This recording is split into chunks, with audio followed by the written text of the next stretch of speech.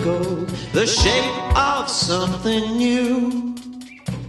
But yeah, when in the eyes of age, and everyone's the same.